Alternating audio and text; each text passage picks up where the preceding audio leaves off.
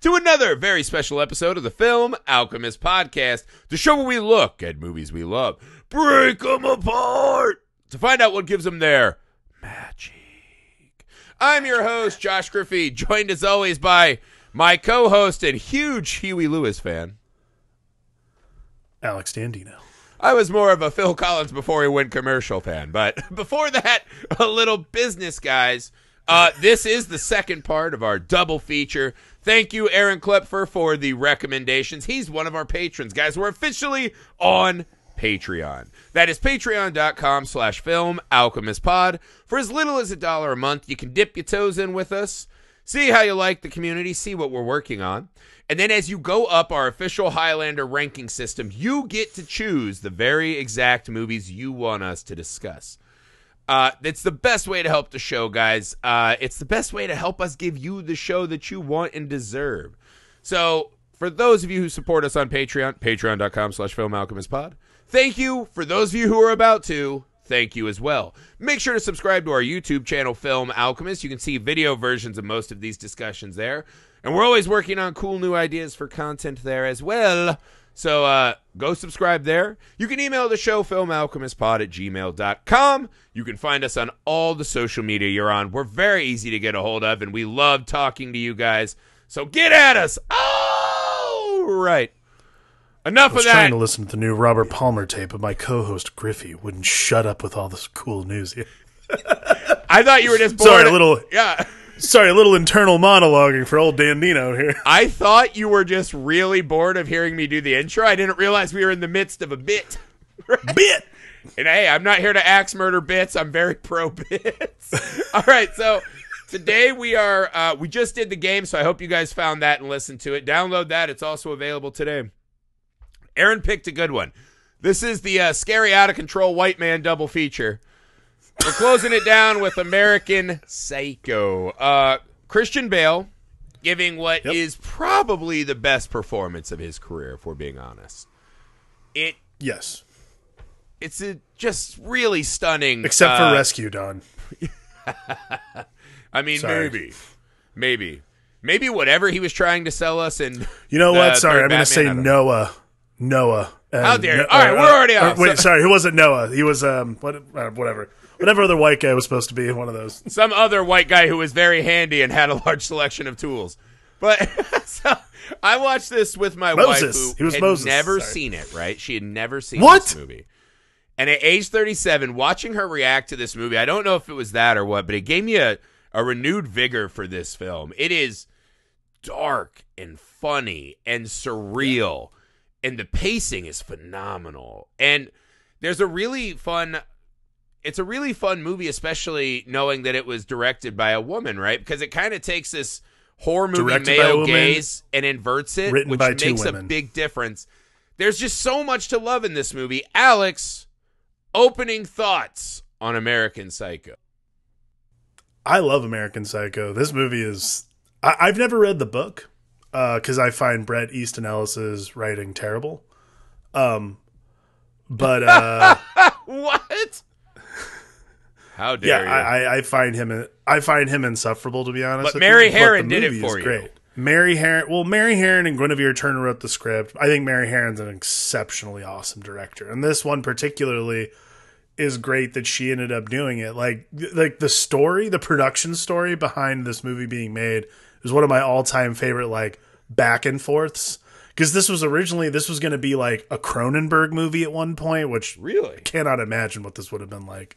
Uh, and then, uh, like for a long time, Lionsgate was like, it has to be Leon- Leonardo DiCaprio. He's the only one who can do this movie. And they're like, and Mary Harron the entire time was like, it has to be Christian Bale. Like, Leonardo DiCaprio's a star. He has to do it. Finally, DiCaprio went and did The Beach with Danny Boyle. And I think Oliver Stone was going to be the director. And then at the last minute, Oliver Stone bailed after Leonardo DiCaprio Could you imagine this is No. an Oliver Cannot. Stone movie? Cannot. Wow. It makes no sense. If we didn't Mar- lose the Mary Harron version, I'm like this much interested to see that. I mean, it would just be a mixtape, wouldn't it? Like it would just be like, uh, because this is He what just be like, is been here, done that. because this is what they would have shot it in '99. It came out in 2000, so yeah, it literally would have been like a fucking mixtape movie. It would have been very weird. It would have been probably really, really oddly paced. But with Mary Harron doing this movie, it's a really sleek, hilarious, intentionally so in a lot of ways. Uh urban thriller about the worst. Just the this the worst time to like the the best time to be a white guy in America, the worst time to like have to watch white guys in America. It's well, there's there's a terrifying. yeah, there's a setup of this film that starts off right away, right? Because this is the the opening is just the the white boys club, right? So we start off with our kind of fancy blood opening, and then we're in this douchey restaurant. In this movie, again, very much like Michael Douglas's Essence. Let's say Essence. I'm just triggered immediately because I Well, this is greed is good. This I is hate the this the is white. the era I hate of the Wall rich Street. people story. I fucking hate these things. But this one gets to a use that to good effect, right? Yeah. But it's just these fucking douchebags talking, talking, talking, and they're going for it. But what it does is you immediately know. I think, and this is the Mary Harron touch, right? Is this is not a movie that right away is. They're not being showed to us as these kind of oh that's what we should aspire to, right? This capitalist fucking ladder climbing bullshit that a lot of these movies ascribe to. They're showing us exactly what they are. That these are these fucking like J. Crew mannequins come to life. it's it becomes apparent within I don't know five seconds of them all sitting at lunch that absolutely none of these guys have ever done a hard day's work, like ever. Like none of these guys have ever done anything to get to where they are. They just are where they are because they are handsome and white. I and forgot went that to the right Patrick. Bateman's dad owned the company essentially. Well, it's like it's thrown in there really quietly, Yeah. and that's like the bit too. Like all these guys. Uh, also, my personal favorite like underdog hero of this movie is Justin Theroux. We'll get to that later, but he has like a couple of awesome like the lines. in the scene very when he's like snorting blow and he yells at the guy in the cell next to him and he's like, "Sorry, the Sorry, steroids." steroids. I was like, "Yeah, dude, he's fucking great in this movie." that and they i mean he's just an like w- there's a scene we'll get to that I, i'll get to it later but like this opener is so important because like not only is it even from the opening credits like the opening credits are this like hilariously misleading bit and like i feel like anywhere else it would seem a you know, little like hacky Fancy Blood. no, no. I was what I was saying is I feel like anywhere else it would seem a little hacky, but they keep up the facade long enough where you're like, oh, it's they're making like fancy lunch for the fancy people, and then like it goes like it's the tone is set from the fucking opening credits, man. Like you don't even have to wait for the movie to start to know what kind of movie you're gonna watch. Mm-hmm. It's really, really fascinating because then you get into the yuppie talk, and all these guys are literally all they're talking about is where to go to get where to get the good blow. I mean, that's like sixty Where to go to of the dinner. movie is making reservations. That's I mean that's that's it. Yeah. And like the obsession with this place Dorsia, which we never go to, which is half the fun of the movie. Like it's a bit invited. in the movie. We're not invited. We are we are plebs. Yeah. Um yeah i mean it's just it's incredible and then you cut to the the internal monologue bit which Right. is our first And- real like Well, this is the funny part, right? Is I had absolutely, yeah, I had forgotten how surreal this movie is almost immediately. And Mm-hmm. I know that, you know, me and you will argue at the end about what parts of this we think are real and are not. I don't think we're on the same page on that. probably But- not The argument to be made is that there's almost no truth in the entire film, right? I mean, this is about as unreliable a narrator as possible. But not even that. Yes. This whole movie is played through the lens of this is how Patrick Bateman, a fucking serial killing psychopath, sees other human beings. So it would make sense that they're all these two dimensional, callow caricatures. yeah Because that's if you don't have empathy and you are an actual psychopath, that's how you see the world. But what it does is it adds this layer of unreality to it, right?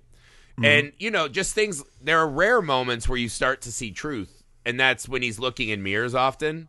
Like the opening scene, he tries to hand like some coupons to a bartender. She's like, "You fuck, it's cash bar." And he goes, "I want to cut your belly open and play with your blood a little bit." Some weird line like that and then just smiles as she comes back because this is the other constant thing, right? The fact that it's all these these well laid upon ruses and rituals is Mm-hmm. the fact that when he does tell people what he is, no one ever can accept that this guy in that outfit with those fucking cheekbones can be Leatherface. Right.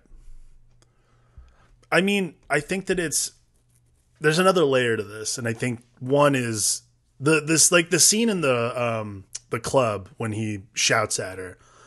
There's another level of this too, which is like I've not been in many nightclubs, but I've been in enough to know that like people just shout random shit all the time.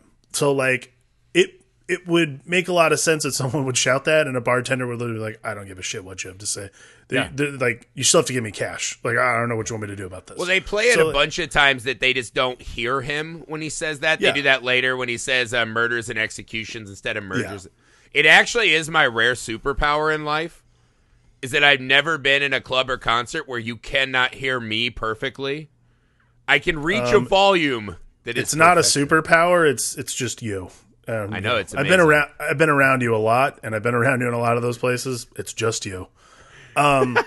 You're welcome. but again, it's uh, I mean, but the other layer to that though is that as you find out through the movie, and again, Patrick's dad owning the business and that kind of thing, you find as you find out through the movie, not only is Patrick like the most vain person in existence, possibly.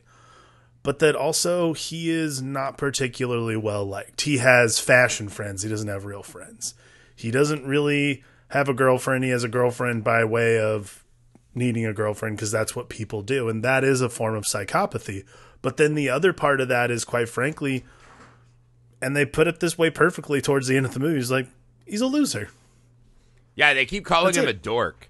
Because that is one Yeah. of the really fun. Because it's the strange thing. You're like, I don't even know that you can call it vanity, because it's not Yeah, his true self, right?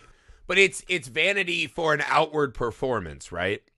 Because he's crafting this character he thinks are what these other people want, so he can swim amongst this fucking Well, stocked pond of victims. This goes to.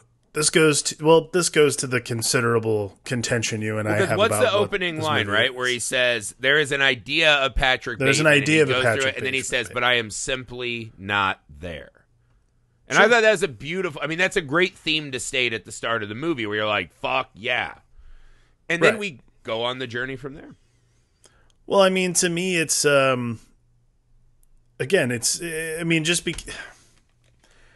Yeah, I don't know. It's You not want to do really, it? You're rearing for a fight, Ferdinand? Is that what's happening? It's not a fight. It's simply like it's a statement. Of, it's a statement of what the movie actually is, and I think that's like the really difficult thing, and that's a really fun thing about American Psycho is like these conversations are had because the movie is quite frankly if you watch it from a certain angle it's a horror movie. If you watch it from another angle uh, angle it's a satire of the 80s if you watch it from a third angle even it's a satire of wealth. It's a it's a commentary on wealth and what it does to people. All these other things like Yeah. there's so much there's so many layers to the movie. So i think it's it's interesting because I've I think I've watched. I mean, I own like the unrated version. Like I have owned this movie since I was probably Naughty, in high naughty. school. Yeah. Like there's like you know there's just I've I've watched. I think I watch this movie whenever it's on. I'll just watch it because I just laugh my ass off. But like that's what this movie is. Is it's a oddly rewatchable movie that ends up being multi-layered every time you watch it and the, the more i watch it the more fascinated i am by the fact that at, at like I can tell you the first time I watched it, I took everything at face value. There was absolutely nothing about this. I'm like, that is fucking crazy. But then I watched it more and more and more, and the more I analyzed it, yes, like I became convinced with the re- with a lot of other people that most of the things that happen to Patrick Bateman in this movie are not real. They happen in his mind. I think there's definitely the the frenzy moment, right, where he uh the ATM says feed me the cat, he shoots a lady. He starts shooting cops and janitors and the cop car explodes. Even And, he uh, doesn't believe that. Well, he looks at the gun as if it is a, you know, fucking wizard's wand, right? Yeah, Like he was a and I get that. And then that scene as he makes the call and does his confession. There's a police spotlight that's just frozen on his office window, right? Mm-hmm. None of that probably happened. We know that that confession call happened, We know something. So this is I think there are touchstones. I'll tell you one of the weirdest things in the movie today was with Paul Allen's uh, family, the detectives and this and that. Is the way I see it, I actually think that because at the end we see Paul Allen's hotel room has become this fucking Hewitt family, you know, villa where there's just mm-hmm. dead bodies everywhere, dead girls on hangers and bathtubs, die yuppie, whatever. Yeah, I mean, yeah. it is a fucking nightmare show. Yeah. No, it's straight up Texas Chainsaw Massacre. Right, and there are two ways to watch that, right? Like, how long were those women in the apartment and they didn't detect any of this, right? Right. Which I think you can explain away. There's a really strange scene, though, at the end when he comes back and he's all sweaty. And he walks in, and the realtor tricks him and knows that he's not here to see the apartment, right? And he's at the closet where the dead bodies were. And she goes, You know, what are you really doing? He's like, Does Paul Allen live here? And she goes, Not anymore. All right, well, something had to happen if all of this is going down. I got a real vibe that his family was just trying to hush this up and that they thought Paul Allen had committed these crimes. I mean, And so this was their like cuz she knew something was off. Right where she's like, you know, you came here looking for trouble. We don't want that. She says a couple sentences. I was like, "Holy shit, this lady knows that something extra Well- has occurred." there's another there's because like the detective Kimball Mm-hmm. played by Willem Dafoe. There's a whole other beat that um And he knows. Like, where he's like- he knows. knows what I think he he's on to Bateman the first scene 'cause he does that great line where he goes eerie, just eerie, and I think that's a shot at Bateman where he's like, "I know you're a fucking creep." Well, that's what detectives do for one. But also like to me, this movie functions on this movie like the everything happening outside Patrick Bateman functions on Occam's razor. The simplest solution is usually the right one. More than likely, Paul Allen, being a super rich yuppie guy, literally just went to London to fuck off for a little bit. That's it. Like, I could buy that, and a lot of that makes sense. Like, there's there's not a, like cause then this is like this is the hard part about the movie because like we can just skip to like okay so Jared Leto for one plays like the best asshole. I mean I wanted to kill him at the end of the movie like I was just like I mean, like at the end of that scene when they're at that restaurant I'm like God I just want to fucking murder Yeah. you. This was the first like I, he's like Marvin the Martian, like I claim these roles for me forever. I will always be the biggest cock in every movie. and just fucking took that It's so great. Well, like, and I mean, like everything leading up to that too is again, and I don't like the brand name. This is like my my dad. Um, my dad is a corporate lawyer, and whenever we watch this movie, he'll just laugh. He's like, "You have no idea how many of these assholes I've had to like sit across from." In meetings and just like I know they're like sitting there just be like, hmm, my watch is great. I have Oliver Peoples glasses. I have a Hugo Boss suit. Like it's just like all these like things, and like so for me, like that scene, the first time we see Jared Leto when he walks in and he mistakes Patrick Bateman for this guy named Marcus Halber- Halberstram. That to me is like the first, that to me is the first give of the entire movie where you're like, okay, so there's a pretty good chance that whoever Patrick Bateman is, like he says in the beginning, there's an idea of a Patrick Bateman. There's absolutely none of all these guys are faceless. It doesn't really matter. Right, Like you this could is- switch to any single one of them. This is absolutely every scene is just like Stepford Whites. You know what I mean? Like they're all just these interchangeable Absolutely. pod things. Yeah. Right. I mean, like, the, all of them are completely, yeah, all of them are completely interchangeable. But then, so they go to the restaurant and they do the bit where, where he shows, is like, boy, this place is hot, Halberstram. It is popping. He's like, J&B straight and a Corona. And then he, and he fucking says, he's like, do you want to hear the message? Not if you want to keep your spleen. And you're like, okay, now, in any other movie, that would seem like a horribly odd thing to say and be like, oh, that's crazy. But because these are corporate raiders and stockbroker assholes in the 80s, you're like, I bet one of those assholes said that for sure. Like, there's no way none of them did it. These are all So, like- captains of the world, right? They Right. So nothing seems strange. yeah. Nothing like horrible or mean seems actually outside the realm of possibility because, like, you know, why wouldn't it? Like, I I mean, like, of course they're assholes. Like, nothing about threatening someone's life seems odd or out of place because all these guys do that shit all the time. They do that on the phone to strangers. Well, I mean, yeah, we we don't see it a ton, but there's a lot of affairs happening. So you get this. Uh, I think it was Colleen, right? His side piece, and you're like, what a tragic. St-. Like she just literally is like, there's a scene where he's like, you smoke, you never noticed, but she's just like the shell of a person. He takes her to this drunken dinner, and it's almost as if she just gets passed around by these horrible men Yeah, no, and has just it's- become addicted to some and it's it's just fucking depressing right she's one of the only times in the film you see an actual human cost to some of this behavior besides the the moitas right there's a lot of moitering but um Or is there? oh there is for sure but like start there right i for sure he kills paul allen No. for sure he axe murders him in the face Nope. I absolutely because there there is a, a contention Does now that you've seen House that Jack built, right? There is a lot of this, but no, there's a scene when he like drags the the corpse behind his van, right? And Mm-hmm. he leaves blood for miles and miles, and he's like, "Oh shit!" And then it rains and washes it away, and he's like, "In that moment, I knew I was doing an inspired like God work." This scene has that through the lobby. Yeah. And there's that great tag where he's like, "Where did you get that overnight bag?" Right? Lewis says that. Mm-hmm.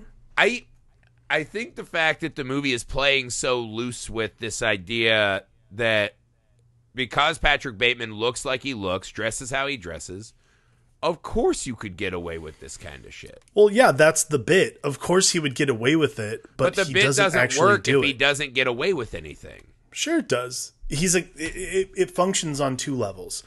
The bit works because a he could get away with it because he's like a fucking everyman corporate yuppie asshole, but then two he is such a loser that he has these fleeting fantasies but would never actually act on them. He just feels them at all times. So this feeling of like murder and this rage that bubbles under the surface of being what a cool rich guy who has like hot people all around you all the time. Yeah. Whatever. That is People all with abs don't think like that. everything about him is superficial. You have to like everything about Patrick Bateman is superficial, including his like flights of fancy of murdering people. The doorman doesn't notice a trail of blood. That doorman who has just trained himself to serve these rich people and is not used to looking the Nobody else way. would notice the trail of blood. It wouldn't show up in the papers. Nothing Why? ever comes up. Why? Why? Why? It's New York. There's fucking deaths all the time. Do you That think all that show up in the paper. Everyone gets re- everything that- gets reported on. But that's what I mean. Do you think that those people's first instinct would be one of us has committed a crime like that? They can't admit it because they're at the fancy bar. They exist and they build themselves as these caricatures to show us that they've made it, right? They're like these false idols Sure. on a false Olympus. So mm-hmm. is it easier for them to just say, oh, someone bad did a bad thing way over there, or that one of our own would give all of this up? Reservations at Dorsia to go murder two hookers? I think it's completely plot. Again, I do think it, it is satire. Not obviously, Patrick at Bateman. Patrick Bateman would not give up a reservation at Dorsia to murder two hookers. I fucking bet he would. Nope, not a Yeah. chance. Well, that, I was That waiting is- for him to that make is- one of the hookers. That is assigning that is assigning a virtue to a character that has none. You are assigning a virtue. You are assigning a virtue to a serial killer like he actually cares about killing these people. I think This he isn't a desperately cares about killing these people. he cares about killing these people because he feels powerful. Exactly. That's, the whole point. Feeling power, Yes, feeling. That's it. Most serial Feeling killer power, however- as you said earlier, comes exactly from power dominating and corrupting something that you feel is less than you. but the power that he wants to wield is the ability to book a reservation at Dorsia. The fact that he has, that he wants to kill Paul Allen is simply because he can get seats and eat that sea urchin ceviche. That's literally the only reason he wants to kill That's him. That's not going to get him in the seat. He's going to kill him because he made fun of Patrick Bateman. Patrick Bateman doesn't even matter enough to know that it's him. Right? he has a better business card. These are the reasons why he has to die. Sure, all of them are purely vain. I understand that, but I think he absolutely cares about the murders. I think nothing else. This is the thing, right? You see, as the movie goes along, right, as he begins to get more frenzied, right, like when he just stops off for the quickie with Colleen, uh, you know, and then the cigars and the fucking drinking and all the shit he does in the movie. You get this idea that all of these things, right, these suits and the business card, all of it, they're so fucking fleeting, right? These these when you have an appetite like these fucking rich dipshits in this movie, where you always have to have the best suit, the best card, this and that, inevitably someone's going to have the better thing than you really fast, right? There's no winning that game. These are insatiable appetites. And I think what he finds is that for those few mo- fleeting moments, that is the only time he is actually appeased in the entire film is like when he kills Paul Allen, he sits down with a cigar. I think that's a, one of the only moments where he feels it himself and happy. But then as you see, this becomes a I got to have more, more, more. These are people that get whatever the fuck they want all the fucking time. Sure. And it'll never be enough. So that the getting more on edge of the frenzy, and that's how a lot of these serial killers get caught. It just starts to spiral out of control, and it's never enough. So I, I personally believe, and the way I also watch a lot of movies too is I was like, the theory that he kills no one and he's just like a fucking accountant in office space, just getting angry in his thoughts, is not an interesting movie to me at all. Okay. I mean, I don't agree with that at all, but I mean, regardless, I mean, I still don't think he kills anyone throughout the movie. Like, it's just, it's absurd. He's, But like, I don't think he kills that lady by dropping a chainsaw on her, right? no, but that's, pa- we're, but that's past the fantasy. We're so far into a fantasy at that point. Like, But I would believe off- he killed that hooker, just not in that manner. the one, wait, Crystal? which hooker? Right? Which one was, The blonde haired lady who said she needed surgery after uh, her run in with Sabrina. yeah, you're talking about the one he dropped the chainsaw on. Yeah, I'm saying I could totally believe that he had killed her, just not in that manner, right? Because this is one of those fun scenes where he's running through the hall in his fucking like New Balance and he's all naked and shit. And Amy, my wife, was just like, "This is insane. Like this is not real." Well, no one answers the door. Sure, It's, but then I think about it though, right? Like when I lived in LA, I would hear sounds all the time and be like, "Nope." Well, no, that scene problem. functions. That scene functions on that um, the conceit of that, like that woman who was screaming after being murdered in the like it happened in New York. Mm-hmm. The woman who was screaming being murdered in like a courtyard and no one came down Yeah. to help her. That's a big city thing, man. Not my fucking problem. You don't know if they're ready for an audition or some shit. So Right. I told her I was like, that's what I think American Psycho does wonderfully. Is Mm-hmm. I think even when it's at its most surreal and possibly absurd, other than the cop car exploding, it's all within the realm of plausibility. And I think that's where great satire works is you have to be able to assume that this guy would do something like that. Everything's within the realm of possibility. Like anything this guy does besides, yeah, a car exploding is within any realm of possibility. Yeah. Like he clearly has a mental uh, disorder of some kind. Like it doesn't matter. What it is, is I still don't think because everyone's percep here's the thing. Everybody's perception of him, besides himself, is that he's a loser. Mm-hmm. Nobody likes him. These are show for like the scene where he's in the car with Reese Witherspoon's character Evelyn, and bit the bit I was doing where he's trying to listen to the Robert Palmer tape, and she's like talking about their wedding or whatever, and he's like, I don't give a shit about that, mm-hmm. and he's like, I, I can't, I can't do that. I have to take time off work. He's like, I don't, and she literally brings it up. She's like, Your dad owns the company anyways. I don't even know why you do that. And he fucking pauses. He takes the tape off. The, It's the only thing he cares about at that moment is listening to Robert Palmer. He takes his headphones off. He says, Because I want to fit in. I think that unlocks the entire thing. For me, all of that matters is that Patrick Bateman is part of the group. He doesn't need to be the leader of the group. He doesn't need to be an important person in the group. He just needs to be part of the action. He doesn't give a shit about anything else. Which is why, absolutely at no time do I think him actually murdering people comes into play.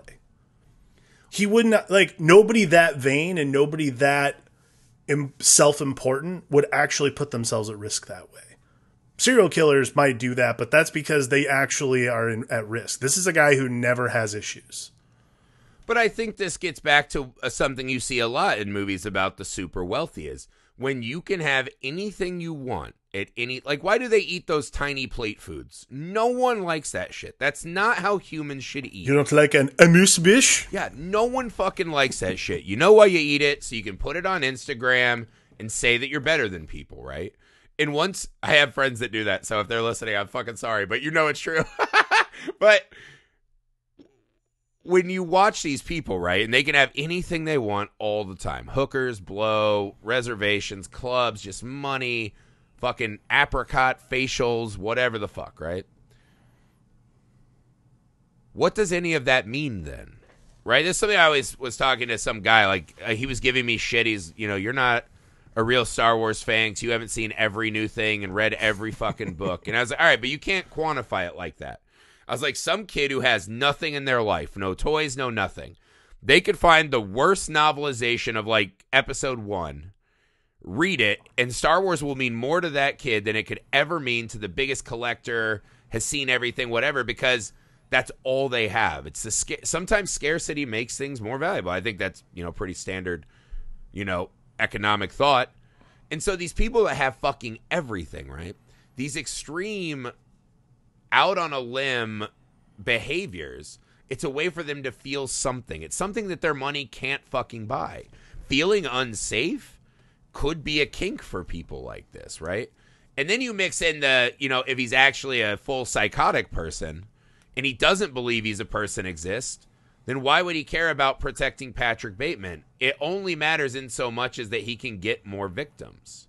Well, he doesn't protect. He doesn't have to protect Patrick Bateman. He literally lets people. He goes around constantly letting people, other than the people who actually know him, people mistake him for other people all the I time. I love that gimmick in the movie.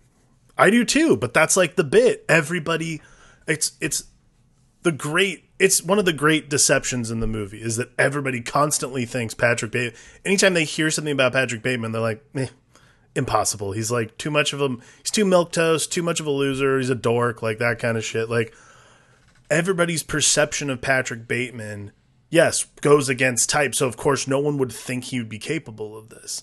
But I think that's part of the bid is that not even Patrick Bateman believes he's capable of this. He just likes to think of himself in that manner. It's this self fulfilling prophecy. It's this thing we all hope. Like it's that um residual self image. Everybody like I think of my, when I think of myself, I look at I, I think of what I look like, and then I look at myself in the mirror, and they're demonstrably Yeah, different. where'd that 80 pounds come from? Yeah, exactly. I'm like, That oh, I'm not happens to me that. I'm like, oh, I'm not that fat. And then I look in the mirror, I'm like, you are that fat. I feel actually. pretty But- good, and then I catch like a side eye on myself in like a storefront window. I'm like, Gah! Yeah, no, it's horrible. Like I hate looking at. I, I've seen photos of myself from the side, and I'm like, well, that's just the most depressed I'll ever be. So like, there's levels. To look that. like I Look, went American Psycho on the Old Town Buffet. But for me personally, I don't. It doesn't bother me. Like I, I, I like having this conversation about whether or not things are real, whether or not. And look, they could be too. I mean, there's no reason there shouldn't be. Well, the big, however, the, the the the big flaw in my theory, as it is, is what you take the lawyer's statement to be, right? Because at the end, he's like, "I got your call. It was hilarious," and he says specifically, "He's like, I had dinner with Paul Allen twice in London." right. into stories. Like, stop talking about it. Stop questioning me. Now, there's two ways to look at this, right? So earlier, Detective uh, Pinball or whatever his name is, Kimball. yeah, Kimball. It's not a tumor. He claims that would be funny if in the same universe they were just like brothers working two It'd be, different fu- it'd be funnier if this was if this was Kimball coming back from the island from the lighthouse. Yeah. Any of those. They're all just like an extended family story. But uh so he Fuck it, it's the green- he's the Green Goblin, Yeah. really. Paul Allen was in London, but it was a mistaken identity. And there is Mm-hmm. this constant people not knowing which of the other Stepford wives they're engaged with, right? The Stepford Whites, I mean. Right. And I think that really works. So then you're like, maybe the lawyer was confused as to who he was having dinner with, or Absolutely. maybe this lawyer is representing the Allen estate and all the fucking money and repu Because again, all of these people are not real. They only exist as these fucking caricatures they've created. So while Paul Allen could be mistaken what he physically looks like, everyone knows what Paul Allen represents, right? He represents Dorsia and fine taste in business cards and this and that. And that he got the account somehow instead of the guy who's at daddy's company. So could the lawyer be working at behest of that lady who was showing the apartment and maybe had the bodies removed and they're protecting family names? I think that's really interesting to me if that's how it works, right? Um, he says that he saw Paul Allen. So if you don't want to believe that, if you're more of a literalist in what people are saying, he's probably the most concrete character we see in the whole film. Right. But I, mean, I just I was I I thought of it for some reason this time watching it, him and the lady showing the apartment made it feel like they were like, Don't fucking push this. We're all gonna get out of Well- here okay. Don't fuck this up. Yeah, and I mean, I think that's a completely plausible scenario for that. And that's really kind of like to me that scene is the only real like chink in the armor of like whether or not this is really happening or not. Cuz like I do think yeah, that entire the entire sequence uh the entire like sequence of the chase is like completely false. There's absolutely no there's no rationale or reality to it. Just it's just and that's fine. Like Well, he could be jumping at shadows because he knows flights of fancy that's part of the deal absolutely it could totally be that i actually think the lady who's showing the apartment i mean that makes sense the lady showing the apartment's the hardest There's something in that scene that is a lot extra. I think the lady showing the apartment's actually a much harder concrete evidence towards your theory than anything with the lawyer because the lawyer is still part of this system like a new york real estate person who's showing like ritzy people apartments probably has less bullshit But, they also, also, it could be probably anything. don't want police and investigators and news Sure. snooping around, right? They want Who knows? Their whole existence is to keep us outside. We can look at them through storefront windows and be like, "I wish I was that rich to have that tiny shell plate." But we're not allowed to be in the fucking room, right? And so No. there is a cover up. Maybe I watched too many like true crime documentaries. I don't know. But so let me ask you this, right? So the scene when he is mad uh, about his business cards, right? Which the business card bits, by the way, are timeless classic cinema that it will might never be get the old best to me. it might be one of the best scenes it's one of the top like 100 scenes I mean, not only like sure. symbolically right that all of these guys are just business cards for a make believe name that has no value or weight in the world, right? Yeah. It's such a perfect, but the way they film it and they're getting in on bail and he's all sweaty. Actually, my Brilliant. favorite line in the entire one is at the very beginning when he fucking unsheaths it from his little card carrier, which carries one fucking card. Which, by which the is like- way, I used to have one of those. I used to get them as stocking stuffers in like middle school. People would be like, I "You'll probably need this as you get to college." I did too. Always, I I don't know, like all of them. It's good for this point. holding paper products, but not Yeah. business cards. But my favorite line again, fucking Justin Theroux comes in real hot. Just, you hear it unsheathed too. It's like bling, the card unsheathed, and then just Theroux, you got a gram? Like the coke and steroid guy. Yeah. No, it's Oh, but it's just it's brilliant, right? Like even Yeah. Lewis when he's like, "How did Lewis get such good taste?" And and he goes to choke Lewis, and then Lewis like kisses his wrist, and I was like, "Ugh." like that's a weird kiss. I love it. Had he kissed him on I- the mouth, I'd have been like perfect, normal. The wrist felt off. But no, And then- okay. and So then he's washing his point, gloves. yeah, he's washing. Where are you going? I have tapes to return. Ooh, we're going to to talk videotapes. about this in a minute. yeah, we're gonna talk about that. let me ask you this then. So here's a more easy one. Do you think he fucking stomps that homeless guy to death and his dog? That's Shanks a tough and one, man. him? That's a very complicated Because that one is uh, it's not amongst his circle. He doesn't have to dispose of the body. This is a person that we as a country have decided we don't give a fuck what happens to. It Yeah. blows my mind every day that we have a billionaire in space and a fucking dick, and we let people live on sidewalks. Like that's just not going to make insane. everyone's life better if people don't have to live on sidewalks. That's neither here nor there. But that's the perfect kind of victim, and it's kind of our moment that sets him up as a true monster. We hint at it with the the red sheets, right? Which is kind of a funny thing. Like, why would you kill someone and take the sheets to get washed? Because his rituals and his item. Well, why would you kill someone with what in white sheets? Anyways, there's well, a I whole think other. this is all part of his like, you know, rituals and you know his item fetish fetishization. yeah. First off, never wash a shrew. Out of the question. It's just fucking. I don't funny. even. I don't It even know what half that is shit great is. comedy, but the homeless guy and his dog. Do you think he fucking stomped them out? This is our. He's a real monster moment. It's not shot in the abstract or the surreal at No. all. No, it's not, and it's really. It's brutal. It's fast. It's really- it's He really kills difficult. a dog, which I hate. it's probably the only scene in the movie that I find like I mean all of them are pretty terrible, I guess. That's not that's not I, I can't I can't say that on air. I mean all of them are terrible. It's the one I've probably find the most abhorrent. Like Well, I especially if you don't believe the rest of them are real. yeah, like this one I mean look, real, sexual violence against anybody is horrible and I I I hate that shit too, but this one just feels so vicious and cruel that it feels I mean, it's got to be that one's got to be real, right? I think so. See, this this is where I pinball. It's tough, right? man. I think a lot of them are real. I don't know that we see them as they occur, right? I think we're living because the whole movie is us watching through this psychopath's eyes. Right. So I think it is him replaying his like horned up fantasies about what happened, right? So Right. like when he does the chainsaw kill, that's Hmm? probably not how it went down. Do I believe that he killed that girl again? Yes. Cuz it's weird for us to just go back to the hooker that he already let out of the it's like a catch and release, right? He tricks him into the house. He does his horrible like rants about Phil Collins and you know, it's not going to eat Houston. itself, eat it, right? And then when they leave, there's like blood and crying, and something horrible happened that we don't Yeah. see. Right? Yeah. We're kind of laughing as he's like fucking and like flexing in the mirror. You're like, what a fucking douche. You know, it it seems like uh, uh, human beings having sex is inherently always funny to me.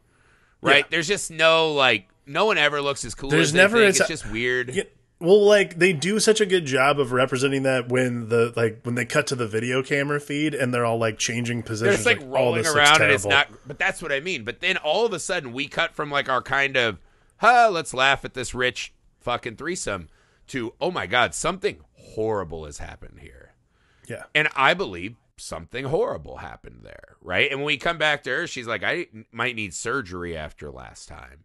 So then your mind starts wandering. And it's a strange thing that that's not addressed more, right? We're just kind of left to run with that. There's a really strange scene in the, or decision in the picking up the hooker segment is it's strange to me that we don't give some kind of human form to whatever's driving that limo. Because it's really weird when she starts to walk away, the limo just instinctually follows her without him Right. telling, and it feels very like he's the devil himself, right? And like, Right. who's in there? What kind of deal does he have with this limo? Is this just another person that's used to serving rich pricks and knows but to not see say that also precedes. Yeah, I don't know, man. That's a really difficult. strange decision. They never showed just like a a portly fucking like Jets fan, right? Like just sitting there not saying anything, but at least showed a human being. Well, It he doesn't even tell like him where to go. Is that entire car. You know, I- there's a weirdness to that moment. So there Right. is surreal, but I think going back to right, and I think they did go to Paul Allen's apartment, and I think they did start to party, and because even like when he's going down on the red haired girl, and then all of a Mm-hmm. sudden we cut back and he's like a junkyard dog with a stake, and there's blood everywhere. I was like, Yeah. what? What is? It felt not biologically possible. But I was like, I I, believe he fucking killed I- whoever that was. Yeah, I'm and sure her. he did. And then yeah, it's weird that too the girl running through the house is seeing his closeto corpses. So is that trying to tell us that someone who we think's a real person is butting into these fantasies, or is that him extrapolating out this more cinematic? I don't know, man. I mean, like all of it feels very. I, I'm sure they went. I'm sure they went to Paul Allen's apartment, but like the limo is a big red herring for me because, like, yeah, like there's something otherworldly about it, and like he doesn't know to go to Paul. Like he doesn't ever speak to the limo driver. Never a conversation's had. Like it. It and it, feels I mean, he could in between possibly. Sure. Like I'm look, I'm sure it could happen off camera. I'm not saying it's outside the realm of possibility, but like It feels strange. I don't know, man. I'm with you. It feels very strange. Like a lot of the stuff a lot of the things like that feel very ethereal. Like Yeah, that one That's particularly for it. Yes. everything feels very in the air and you're not really sure what's real like it is in the air tonight. stop. No, that was before you yeah, that was pretty commercial like- though. Do you like Whitney Houston? That like them scene, dude. Them making the fun Whitney of him- Houston, then making fun of him for liking Whitney Houston is fucking hilarious. But not only that, And his- that's him his actually diatribe's like incredible. pouring it out. Yeah. right? When he's Like, talking he's- about control of self. I thought that was, and he's like almost emotional, right? And that's how I thought that was one of the better ones because he essentially talks in like New York Times think pieces and Zagat reviews because Yeah. he's not a person who's doing things that he likes or Right. cares about. He has to pretend. But I thought there was something to the the Whitney one that I liked because the Huey Lewis one, I was like, he's doing Jim Carrey on In Living Color bit. Like this is not even like a real man. Did you know Mary? Did you know Mary Harron told him not to do that little dance, the little snapping thing? really? He did it anyways, and she left it in. Like she was like, "Do not do that. It's way over the top." And he's like, "Whatever." I mean, it did It's Jim Carrey adjacent that Yeah. that bit, right? I think it's I, it's probably my favorite part of the entire bit. Like it's ridiculous. well, he has just these funny like when he's like getting more because it feels like that's almost like the little engine that could starting, and Yeah. his energy is just for, like manic. it's like the only time you see him excited about stuff is when he's I, I know it's like kind of gearing up to do shit Yeah. but like when he's describing these things because again it's he this has his fucking designer Gallagher fucking poncho. it's this like inflated self of it's this inflated sense of self like where you're yeah just like i mean how many people do we know who just like fucking rattle off the imdb page for movies or like you know like just random facts like oh well i know everything about this because it's awesome it's like yeah, i get it man that's that's, that's great Yeah. it's like half the comics community in and the it's world also funny like, too because it lets you know that again he thinks that he thinks it's cool something that will impress another human being. He thinks Nothing about that is cool. talks. But that's exactly what we go back to is like you and I, we do not anytime we've ever had that conversation, like, are we cool? Like Well, we're of course cool. we're not. We're cool, but everyone else who has that conversation not cool. we're dope We are because cool people still cool. say they're dope. because cool people It's still say words like dope. Yeah, we do. We're set. I mean, we might.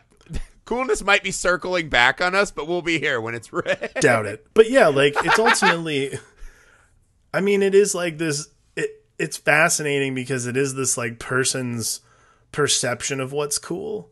And that again, it goes back to how unreliable Patrick Bateman is throughout the entire movie, but like everybody knows that he's a dork. Like he that scene like anybody in the world, if you and I had a friend who quoted Ed Gein, actually I think it's misquoted. He's it's supposed to, uh, the quote actually is supposed to be. I'm usually is it- someone's friend who talks about Ed Gein. yeah, I know. I know who you're talking about too. But like actually it's a misquote. It's supposed it's supposed to be attributed to Ed Kemper. But he quotes Ed Gein in the movie and he like he thinks it's hysterical. Yeah. Which is like to me that's a little bit of the mask slipping. Like that's part of like not understanding what other when he starts not getting sweaty, those scenes are always interesting. Yeah.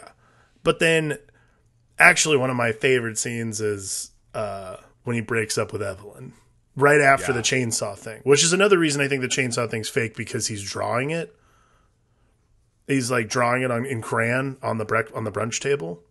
But that scene to me is I there's a scene there's like there's great lines in that like where he's like you're not terribly important to me and she's just like sobbing. But for me the scene is where she's like you're inhuman. He goes, "No, no. I'm in touch with humanity."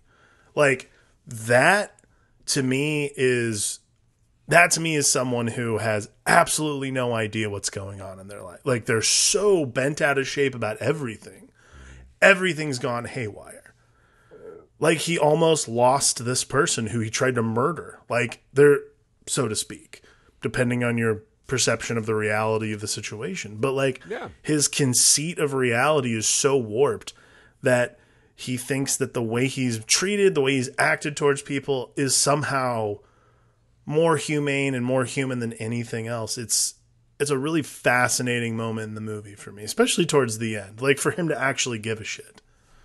Or try to give a shit. Or just him actually pursuing some true interest, eh, which is Well, to like actually care what anybody thinks about him. Like I think that's another thing. I know he cares all the time about what everybody thinks about him, but to like not to like care about what Evelyn thinks. Like Evelyn is so unimportant to him. Is fascinating to me. I don't though, think he cares about what she thinks at all. I think she's another element of his mask. And Uh, in sure, one moment, he's like, you know what?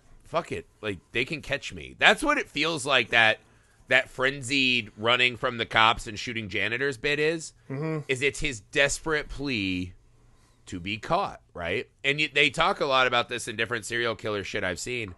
Is that that's why like BTK starts sending letters to the cops and that's what gets him busted. Is because they have this they almost in a weird perverse way want to be caught so they can be acknowledged Right. right for the individual and great achievements they've made.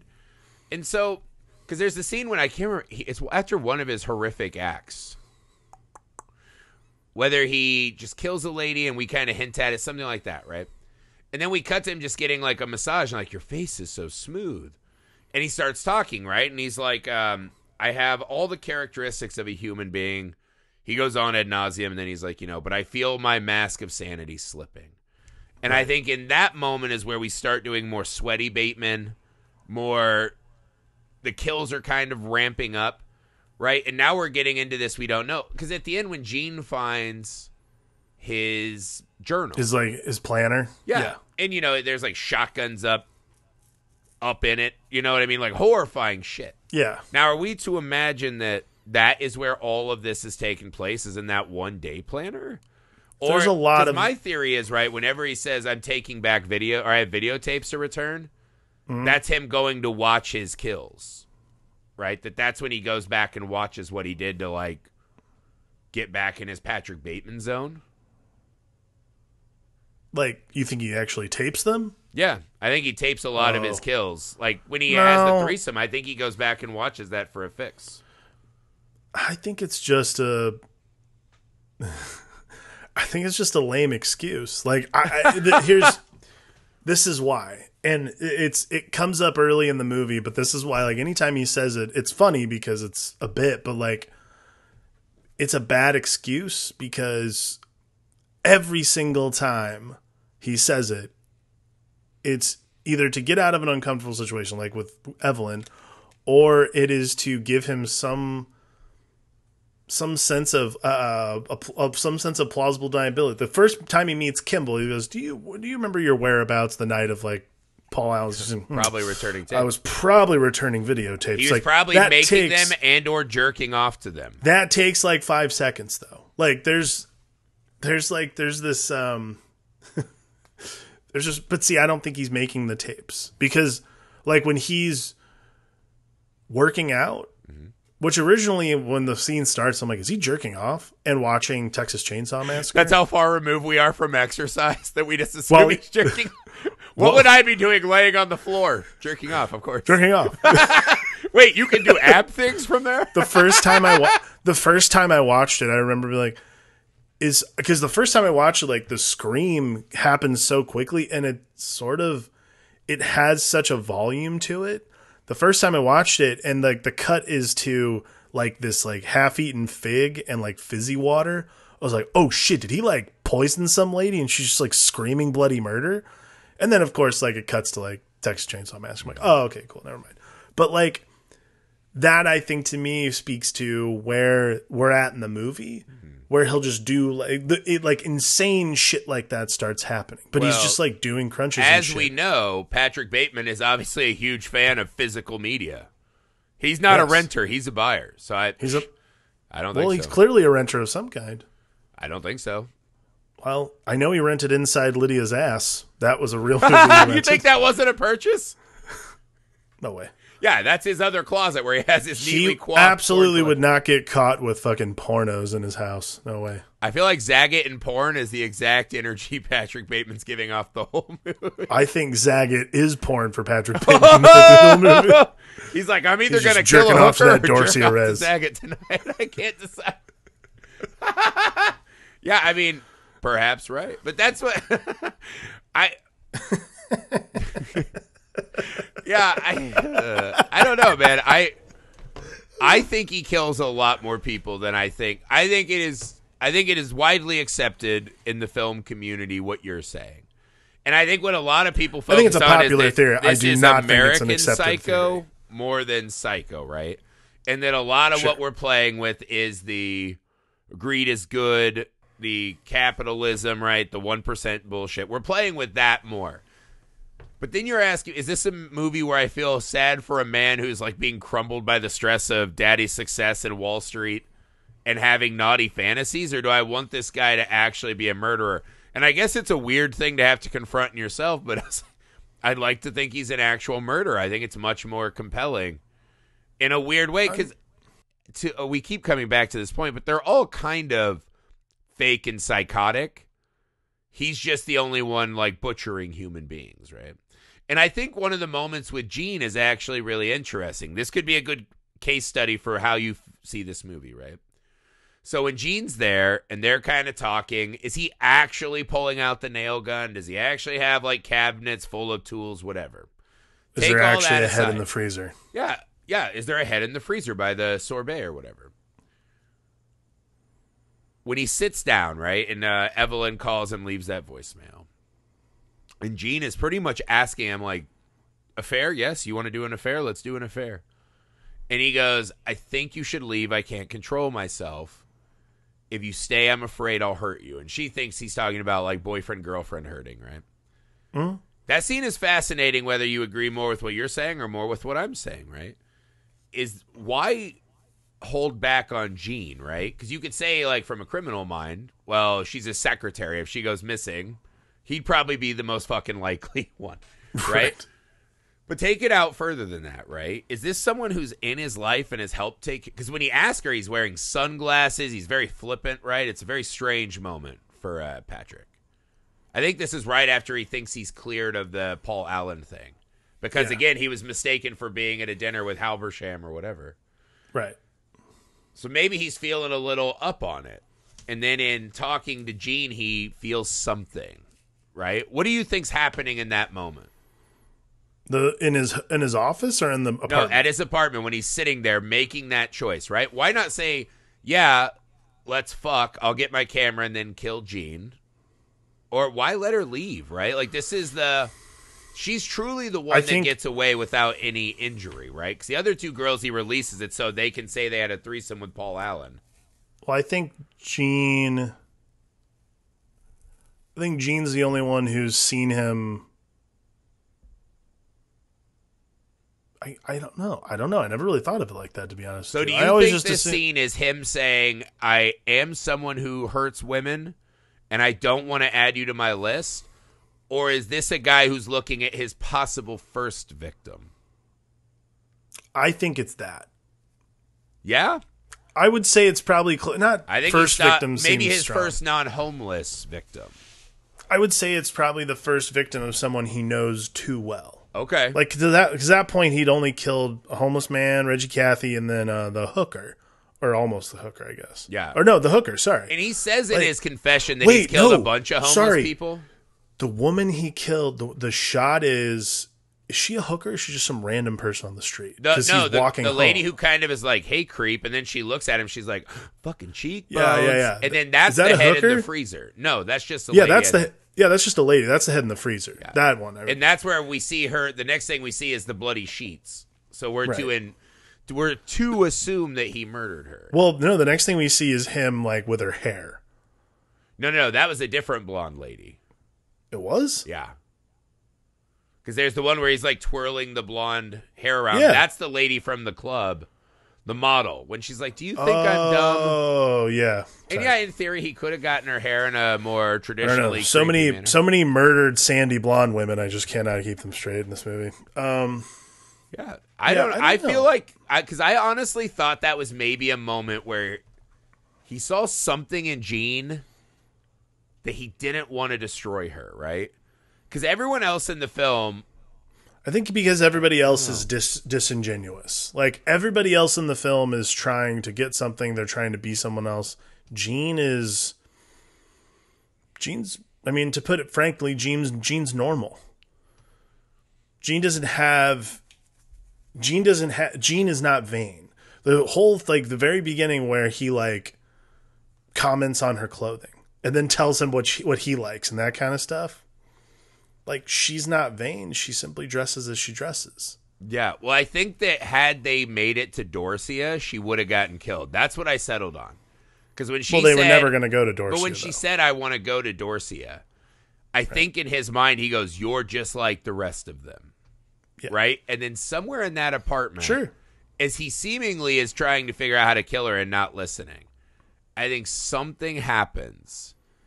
And he set for some reason hearing Evelyn, I'm not sure why, he decides this is not the time to kill her. Because I think when she said Dorsia, he's fully ready to commit this crime. And I have never quite settled on why he lets her leave. I think she's just. I mean, I think the easy thing is to say that she's. She, she's the one that's going to get him caught. She's the one that would get you busted because that's the easy. But that's the little the, that's thrill kink is high with that though, so who knows? I don't know. right. So I don't know. That's a good question. That's a really that's if- a scene I, I don't know if I can answer it, settled be on. Yeah. No, I agree. It's a strange scene for the movie in general because it does take place in reality, but aspects of it for me are not real, and some parts of it are very real. I don't know. Because also, if you just a dork who doesn't kill people, it's like maybe getting like a, you know, some sex on your resume helps give you some cred. I don't know. I don't know. I mean, obviously, since we're cool, we haven't had to worry about things like this. Either way, I um, I don't know. This is like this is like the fun of this movie in general for me is just I like having this conversation because it it's not overtly educational and like laden with nonsense film critique. What it is is just a matter of perception of how you want to how do you want to accept Patrick Bateman? And I think that's what makes American Psycho a strong movie and a worthwhile watch is because when you watch it, you say, do I accept Patrick Bateman as the person that he's presenting to us, or do I accept him as the person that he actually is? There's no like we were ta- we've been saying this this is the third time we're gonna say it, or me at least. Patrick Bateman is not cool. That's like the whole point of the bit is that Patrick Bateman is not a cool person. He's only cool to himself, or at least he thinks he's cool. But all the things that would make you cool, he doesn't do because all he wants to talk about is how cool he is. It's an interesting character. yeah, and It's I, a great character. I think study. it gets back to the Stepford Wives thing, right? Where they're also interchangeable, and when that's your Right. when that's your whole goal is just to buy the best of whatever the fuck it is, like there's just not going to be a lot of you left that matters, right? You've set yourself up as that, and you can never win. And the movie kind of ends pretty on the nose with the the Reagan thing, right? yeah, And they're like, "How does he just lie like that? How does he do it?" They talk about it's the best. It's the best yuppie thing because this is the guy who made him rich. Yeah, I mean, and so then he cuts into this, you know, but on the inside. And he goes, My punishment will never find me this and that. And he goes, mm-hmm. My confession has meant nothing. And so I think what the movie, in a way, is telling you is that. I, cause I don't think this movie means nothing, man, and I think going on Patrick Bateman's jersey doesn't journey doesn't mean nothing to me. I think maybe it's what you're saying is that you can glean don't take it as this literal journey, right? This literal whorehouse, you know, whorehouse, H O R, right? And whorehouse too. It's both. It's both of the whorehouses, but it's don't take it as that journey, right? Look at it as this man grappling with this fucking inner rage. Look at it as the fucking rich people can do whatever the fuck they want and treat the rest of us wrong. You can find whatever, you know, the people that just talk in Zagat reviews in New York Times about articles, right? 'Cause they think that makes them interesting, but inside they can't feel anything those songs would be about. Right.